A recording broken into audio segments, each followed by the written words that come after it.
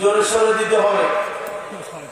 আমার ভাইরা গীত দিলে শয়তান পালিয়ে যায়। আপনারা শয়তান কাছে রাখবেন না, দূরে ঠেলে দেবেন। শয়তান তো আমাদের অসহসা দিয়ে জাহান নামে পথে দিচ্ছে শয়তান কাছে রাখা যাবে? অতএব একটু জোরে সরে আমার তাকবির দেই যারা ঘুমিয়ে আছেন, তারা উঠে যান। ওঠার সময় হয়ে গেছে, এই সময় ঘুমিয়ে থাকা ঠিক নয়।